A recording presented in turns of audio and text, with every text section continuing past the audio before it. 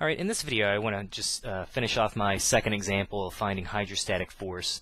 And in the first part we set up the integral to find the hydrostatic force against a little circular, semicircular gate. And we got the integral from 0 to 3 density times gravity times 2 times the square root of 9 minus x squared times 10 minus x dx.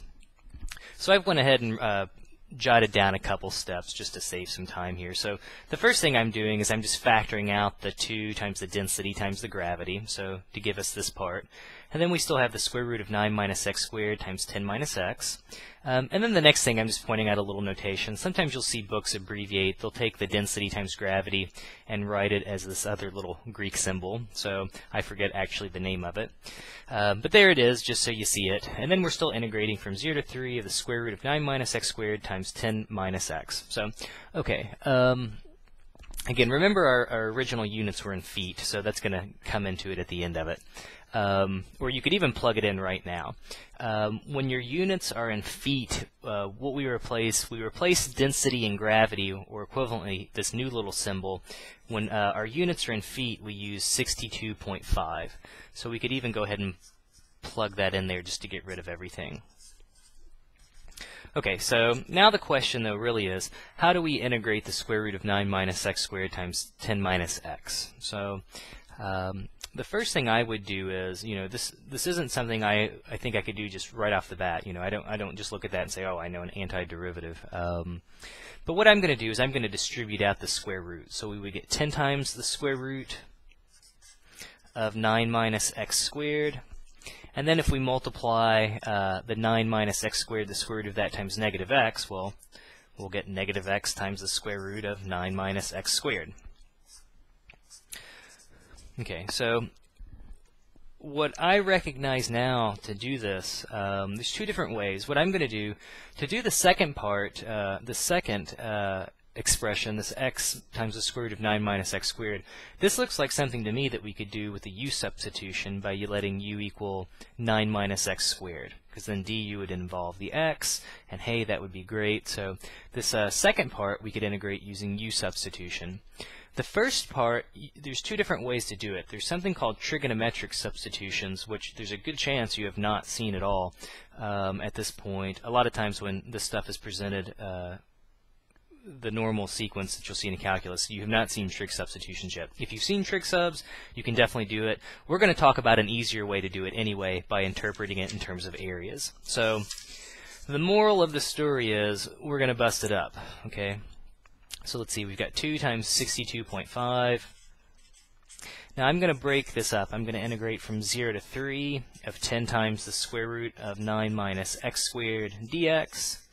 And then we can subtract away the integral from 0 to 3 of x times the square root of 9 minus x squared dx. Alrighty, so to uh, calculate the first part, um, what I'm actually going to do is interpret it in terms of areas. So again, 2 times 62.5.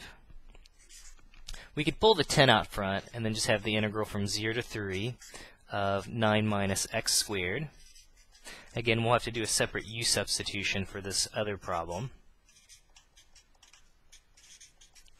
Okay, and what I'm going to do, um, so to calculate the integral from 0 to 3 of 9 minus x squared dx, what I'm really going to do is I'm going to think about this geometrically. So if you think about, you know, what if you think about the curve y equals uh, 9 minus x squared, what what is that the graph of? Okay, you know, y equals the square root of 9 minus x squared. Huh, I don't know, that doesn't, maybe that doesn't look too familiar. Um, one way that you can kind of maybe make it more recognizable. If you square both sides, well, we would get y squared equals 9 minus x squared. If you add the x squared over, we would get x squared plus y squared equals 9. And recall, x squared plus y squared equals 9. That's just a circle centered at the origin that has a radius of 3. Okay, well you have to be a little careful because if we go backwards, you know, so if we start with x squared plus y squared equals 9, if you subtract the x squared, well we would get that.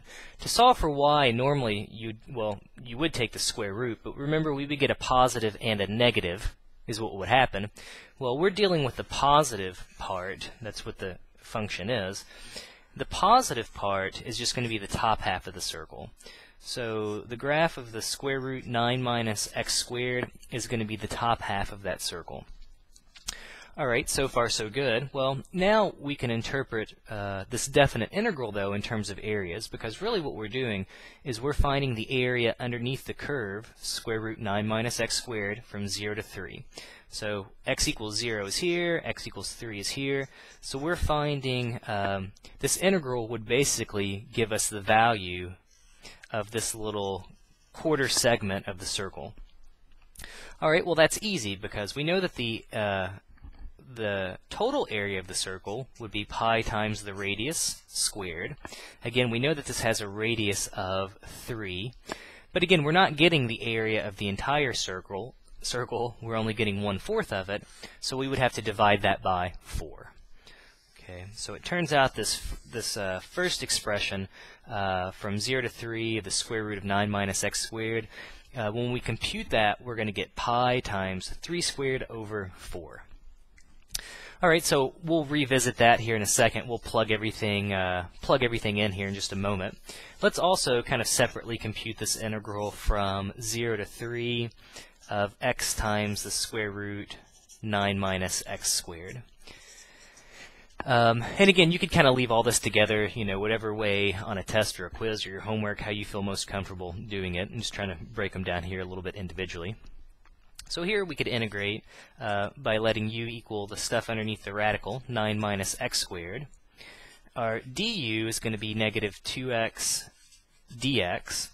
So I look at our problem and I say, well, there's an x dx still in there that I need to replace. So, well, I've got an x dx almost on the right side. To get it by itself, I could just divide both sides by negative 2. So I'll get negative 1 half du equals x dx. So now I'm going to use this stuff to relabel. Okay, so again, our x dx, that's being replaced by negative 1 half du. Uh, the stuff underneath the radical, that's what we're calling u. So really we would have the square root of u. Remember though, when we do a u substitution, our limits of integration change. Okay, So the original upper limit of integration was when x equals 3. Okay, so if x equals 3, to get our new limits of integration, we just plug that into our u substitution. So if we let x equal 3, we'll get u equals 9 minus 3 squared, or 9 minus 9, which is going to give us 0. So our upper limit of integration is just going to turn into 0.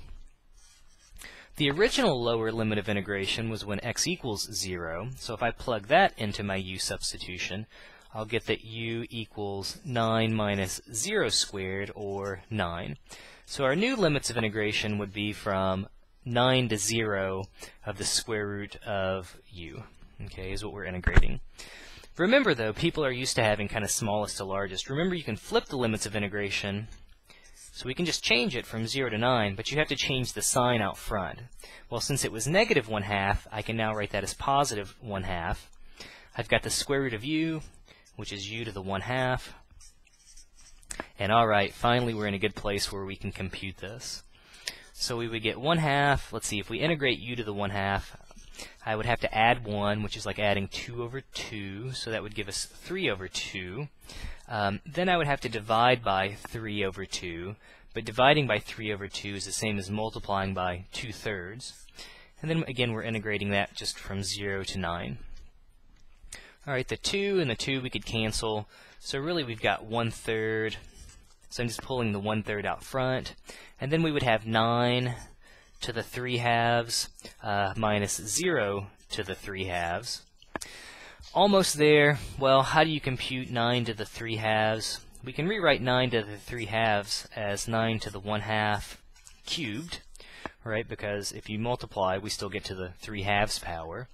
Well, 9 to the 1 half, that's just the square root of 9, which is going to give us 3. So really we have 1 third times 3 cubed. Well, you could even cancel out one of the 3's, um, or you can think 3 cubed is 27 over 3. It looks like to me we're getting 9. Okay, so now I think we're in a good spot to kind of plug everything in that we found. So originally, uh, this was the integral we wanted to compute. So I think we've got it now. It says you would get 2 times 62.5. We would get 10 times the value of the integral from 0 to 3 of the square root of 9 minus x squared.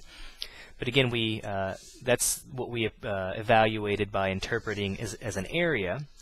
Okay, so the integral from 0 to 3 of the square root of 9 minus x squared. Okay, we said that that's going to be pi times, well, 3 squared is going to be 9 over 4 minus, okay, then we would have to subtract away what we got for, for the integral from 0 to 3 of x times the square root of 9 minus x squared. Okay, we went through all of that when we said the integral from 0 to 3 of x times the square root of 9 minus x squared. Eventually we got that to simply equal 9. Alright, so that's what I'm plugging in. Um, for this part, we'll simply get 9. And notice uh, all the integrals are gone, everything's gone, um, everything started off in feet.